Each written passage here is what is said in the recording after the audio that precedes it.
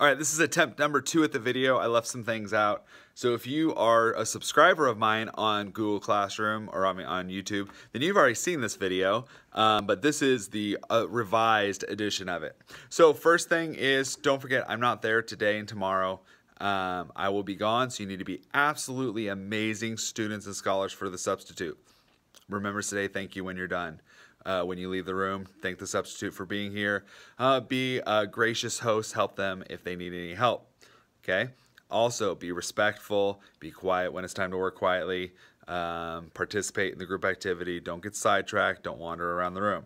Okay. Second announcement you have a recording that is due on Friday, tomorrow. So by tomorrow, you need to have your recording done. It's just a regular 10 minute video. Get it posted on Google Classroom.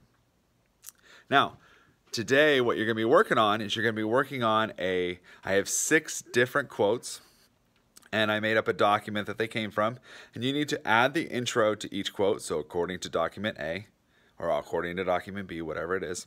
And then you need to add commentary, which means explain based on the quote, what do you think that quote means? So explain what it means, fill out the page, Work on it with your group, but you need to do your own copy. Everybody needs to write it down, but you can work with your table group. Okay? That is all I've got for that. Now, a huge birthday shout out to Joshua Cates. Joshua's birthday is today, so woo woo! Happy birthday, Joshua! All right. He is the originator of the Dr. Von Stock.